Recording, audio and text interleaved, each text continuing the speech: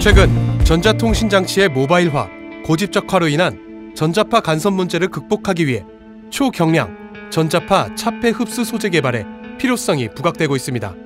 이에 본 연구 그룹은 기존 금속에 비해 가볍고 저비용이며 유연 인쇄 공정이 가능하면서도 금속을 능가하는 전자파 차폐 성능을 가진 전이금속 2D 나노 소재인 TI3C2 맥신 나노 소재 전자파 차폐 기술을 개발하여 2016년 사이언스지에 보고했습니다.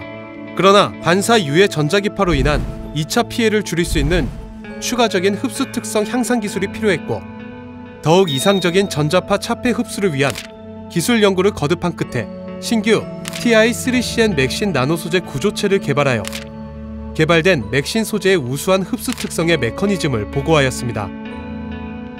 TI3CN 맥신 재료는 TI3C2 맥신 재료와 유사한 결정 구조를 가지고 있는 티타늄, 탄소, 질소 화합물로 열 처리를 이용해 맥신의 유효 유전율 및 유효 투자율을 효율적으로 조절하여 매우 낮은 필름 두께에서도 우수한 전자기파 흡수 특성을 보입니다.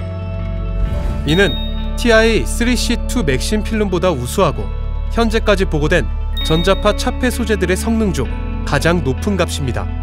간단한 열 처리를 통해 제조된 TI3CN 맥신 필름 구조체는 기존의 조밀한 층상 구조에서 메타 구조 특성의 다공성 구조를 가지게 되며 이 다공 구조 내에서 입사된 전자기파가 다중 반사되며 강한 전자기 흡수 현상이 발생하게 됩니다.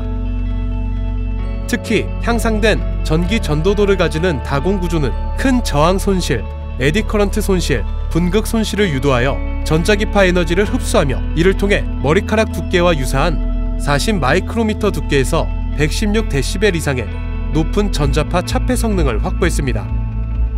Ti3CN MXene 소재는 기존 금속 및 세라믹 대비 차별화된 경량 전자파 차폐 흡수 소재로서 고집적 모바일 전자통신기기에 사용될 수 있으며 EMP 차폐 및 스텔스 기술 등 국가안보 및 국방 기술로도 활용될 수 있을 것으로 기대됩니다.